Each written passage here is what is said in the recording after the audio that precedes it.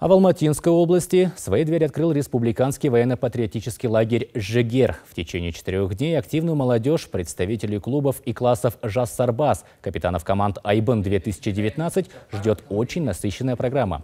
Участников ожидают мастер-классы и встречи с ветеранами. Кроме того, у каждого из них будет возможность проверить свою физическую подготовку. В программе состязания по многоборью, стрельбе из пневматики, преодолению препятствий.